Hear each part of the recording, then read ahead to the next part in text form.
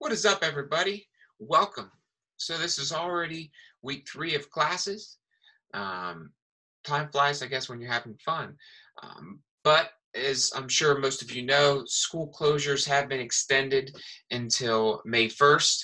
Um, and that is the earliest that we will go back. Many think, unfortunately, we might not be, you know, going back. That's talk throughout the state. However, I hope, and I hope you hope, that we um, see each other before the end of the school year. Um, if not, say hi to me next year. But so this this week we're going to be talking about domestic policy. Last week we talked about foreign policy. This week we'll talk about domestic. Uh, we've already talked about domestic in class. Domestic is anything that happens here, happens in the United States. So that is going to be the subject of today's lesson. So basically, just a review. Uh, the quiz for this week, you have one lesson tutorial and one mastery quiz. Um, that quiz is worth, t- uh, well, it's not worth, it's worth 10 points. There are 10 questions. Um, I will be sending out grading criteria instructions in an email to everybody. All right.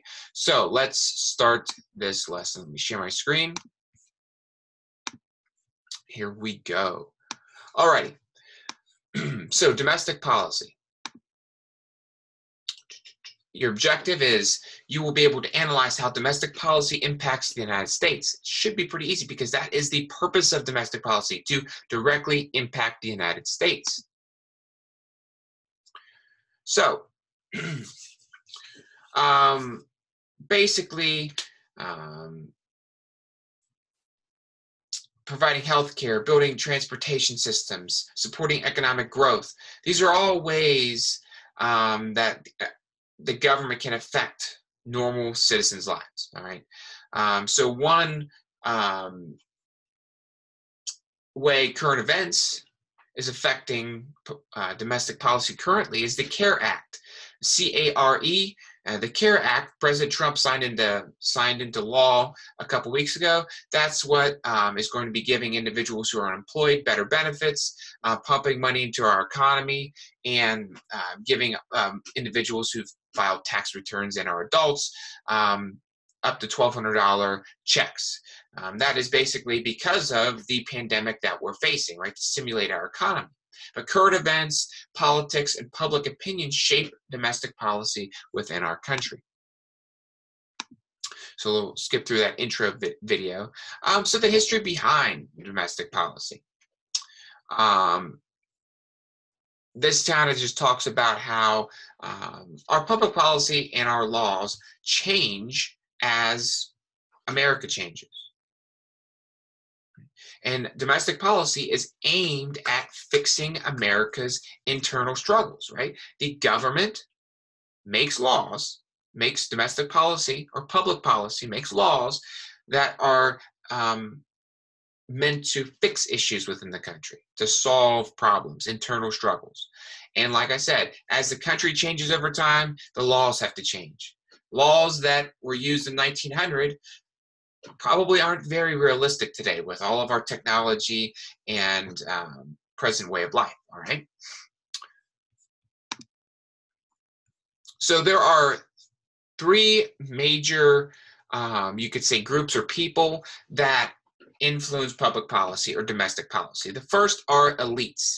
The elites, they have, um, they basically exert their, their power um, because they have, uh, they control vast resources and wealth. So these are elites like Bill Gates, Mark Zuckerberg, um, Jeff Bezos. These individuals have billions of dollars and they can pay and get what they want. Right? They have power. Money equals power, sadly. Second, we have bureaucrats. Bureaucrats is just another name for government officials. So think of bureaucrats, government officials. They use their political, um, you know, their political uh, position. So if they're senator, representative, Supreme Court justice, uh, their experience in power to kind of um, direct public policy. And lastly, of interest groups. We talked a lot about interest groups. Interest groups are groups of people that share common interests. So the NRA, the National Rifle Association, they fight for laws that are good for gun owners, that promote gun ownership, reduce laws on guns, right? Because they want more freedom with guns. So those are the three major groups um, that control public policy within our country. It should make sense. So policy implementation. This is one of those policy making steps that we talked about. So once you know a policy is formulated and it's adopted into law, it has to be implemented. Implemented base it's a fancy word, big long word that just means um, put into practice. Right? So it is being made into law. It is being used. It's in our everyday lives.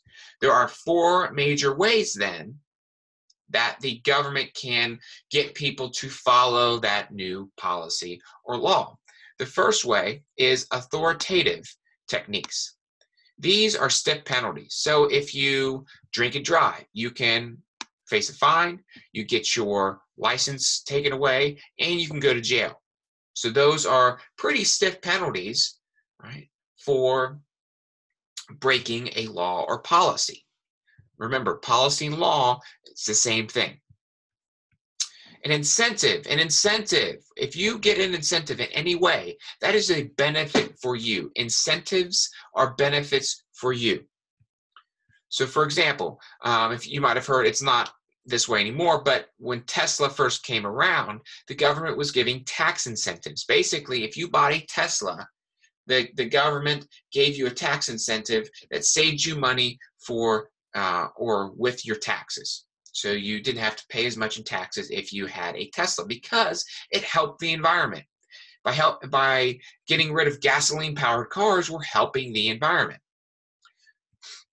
Capacity. Capacity, I want you to think about education. Capacity education. Without education, all of us have a low capacity. Education allows us to build our capacity. So if we don't know how to follow a law, the government is responsible for teaching us techniques, training, giving us training to learn techniques to follow that law. Right? We need the ability, the knowledge to do so. All right. So capacity is building our capacity, expanding our capacity through education, training. And lastly, oratory or oratory. These techniques appeal to people's decency and morality um, to follow public policy. Um, so basically, um, don't litter, save our save our environment, don't litter. That could be a sign that is an oratory technique. Save our environment, don't litter. Or um, the Smokey the Bear, you could be um, only you, only you, only you can prevent forest fires. So don't you know leave forest your your campfires unattended or smoke in the woods that can start a fire so that um, that is those are oratory techniques uh, going on all right so slide 10 talks about the the evolution of america's education it should be pretty obvious and you probably learned that in the 1700s 1600s when um, our country was founded, education was not like it is today. It was far worse and not very good. Basically, only the rich in the early, early days were educated. They had the money, the, the means to do so. If you did get educated back then, a lot of it was based on church teachings, but it was also really just focused on making sure you could read and write and do a little bit of basic math, right? We didn't, you weren't learning geometry or trig or chemistry or any of those fancy and um, difficult topics. They were concerned with the basics. But because we want a better society, we learned hey, we need to make our education system better if we want to make our lives better, our world better, our society better. So that's what slide 10 and 11 talk about. Um, so a couple key things that have helped our education system get better in some people's eyes. Um, so 1862, Congress uh, authorized the transfer of federal lands to state governments to build more colleges. All right, so that's one thing.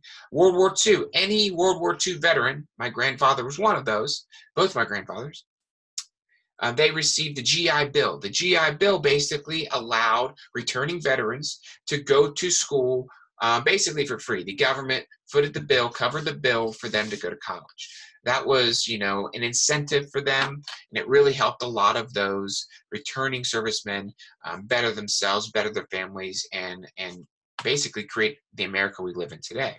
In 2001, this is controversial. Some people liked the No Child Left Behind Act. Some people hated it, still hate it. So if you look at this gentleman right here, the, the white haired gentleman on the right, that is actually Ted Kennedy. This is fun fact. Ted Kennedy is, as you would imagine, JFK's and Bobby Kennedy's brother. Right? He died in 2008, seven years after this bill was passed. But right here we have George W. Bush. Bush signed the No Child Left Behind Act, which basically made state um, schools use standardized testing more and more and more and more and more to the point where we are today to make sure that schools were doing their job. And yes, there are there are people that like that and people that do not like that.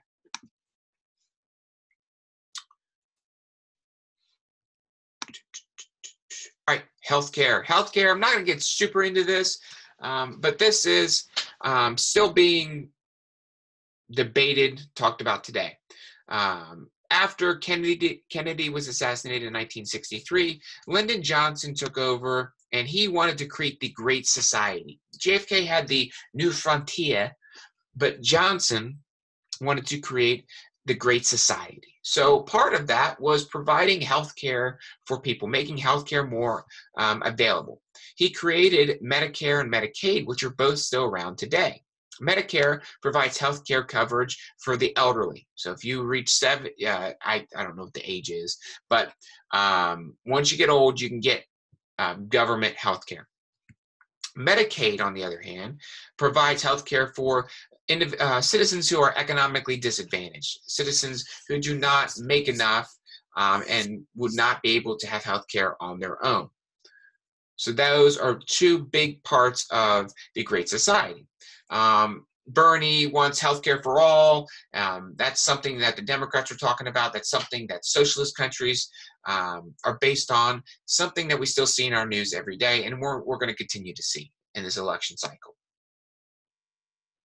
In 2010, um, President Barack Obama, with Joe Biden back here, who's the last remaining Democrat, um, passed the Affordable Care Act. It placed new regulations on insurance companies to protect us. It required Americans to have health insurance or pay a tax. It also provides the government um, subsidy or support for individuals who cannot afford health insurance on their own. So basically, the government will help you get health insurance. The government's making you have health insurance. And the government is watching insurance companies so they don't charge us an arm and a leg. All right. So they don't take over our lives. There are a lot of supporters. There are also a lot of um, critics of this bill. Trump did not like this bill, and he has passed things to take away parts of this bill. All right, energy and the environment. Um, not going to go deep into this because this is something you've seen all the time, right? We have people that think in, uh, believe in climate change, and we have individuals who don't believe in climate change that is the basis for the arguments that um, exist over the um, energy. Um, so up until the 1960s, the United States produced a, ma- a, majority of our oil. 1960, we then went to importing and buying a lot of our energy resources. Um, following a, a U.S. assistance for Israel, right, the Jewish state in the Middle East, um, during the Yom Kippur War, OPEC, or the Organization of Petroleum Exporting Countries in the Middle East, these are, you know, Saudi Arabia, countries like that, began an oil embargo where they were refusing to send us oil. Therefore, we had to basically shut down parts of our economy and our society like we are right now. Actually, some schools had to be canceled for periods of time in the 1973 because there was not enough um, basically gasoline or diesel fuel to power buses or have parents get their kids to school. So we've had times like this before in our history. Um, interest groups, there are interest groups that support oil, coal, and natural gas. There are interest groups that oppose oil, coal, and natural gas. They both fight for, you know, their respective sides. Obviously coal miners are going to be on or supporting interest groups that favor oil, coal, and natural gas, those fossil fuels. And this was a picture from the 1970s, right? Green, you can go get your gas. Yellow flag, only trucks and commercial cars can get gas. And then red, um, no gas at all.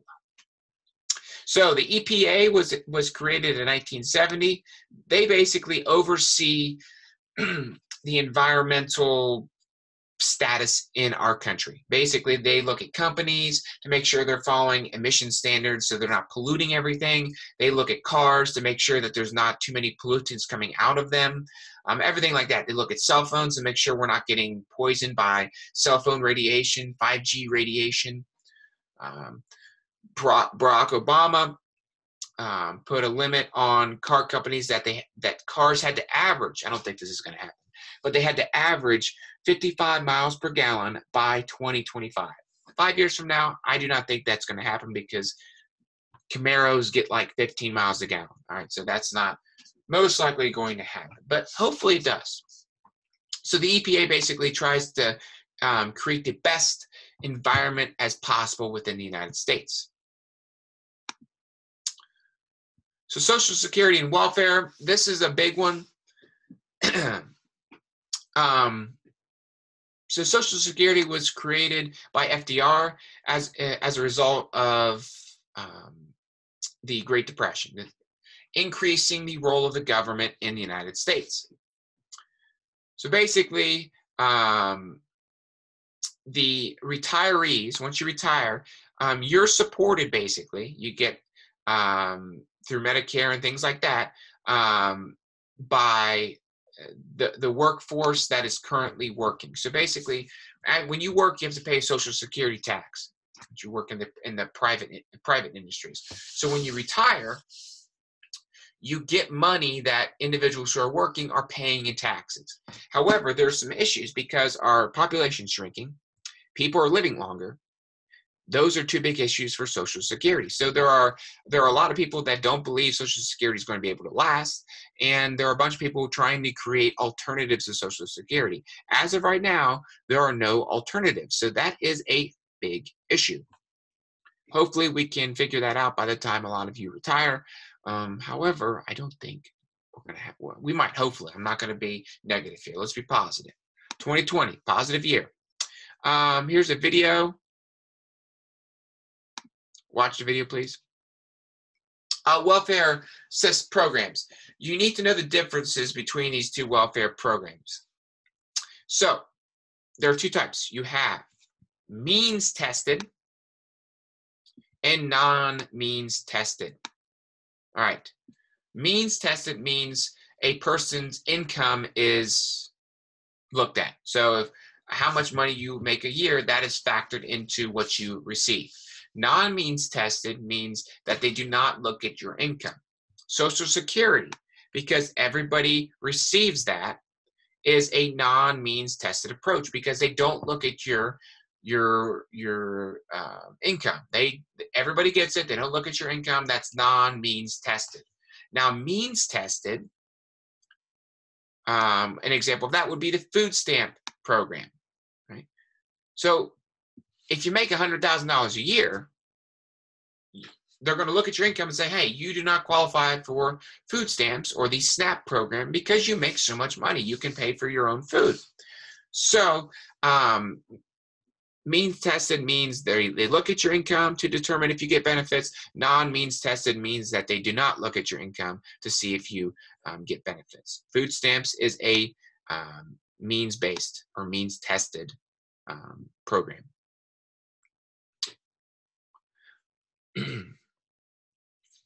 so for this one, basically you're required to talk about and write about, read this article on about pros from the White House, this, um, and then it's all about the healthcare system. So look at the pros and look at the articles. It's then asking you to list some pros and cons um, that these articles talked about. All right, so you're going to put them in here. This is a pretty good. These are great uh, for your brain.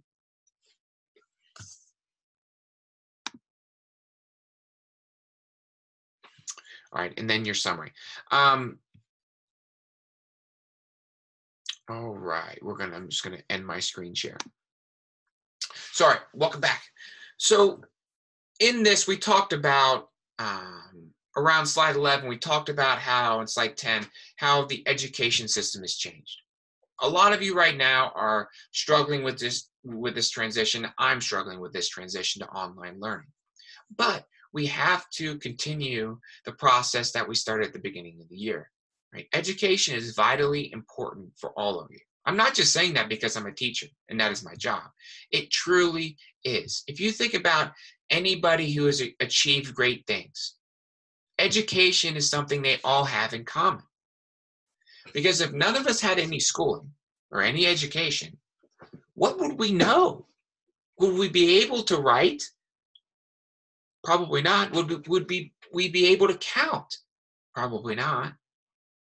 I mean, you could argue that we wouldn't even be able to speak because how would we we wouldn't have learned a language. So education is vitally important. Um, and one of Joe Rogan's um, jokes was, and I love it because when people complain about education, I tell them this: Hey, okay, so you don't want any education. Go into the woods, walk into the woods, and all I'm going to give you as you walk into the woods is a hatchet or a knife. How long is it going to take you before you can walk back out of those woods and show me that you develop an iPhone? The gist of that, uh, Joe Rogan does a better job of telling that joke, but the gist is we're not going to have any of the stuff we have right now, iPhones or anything like that, if we don't have smart people getting a lot of education to make those things. It doesn't come naturally. So education, no matter what you want to do in your life, is something that you need, something that is very important. It's going to help you get to where you want to get. Right. So that's the end of my soapbox. I will see y'all next Monday on this YouTube channel for the next content video. Um, let me know if you have any questions. Email me uh, on my school email or email me through, contact me through Plato. I'll do my best to help you out. Let's have a positive week, people. Seize the day.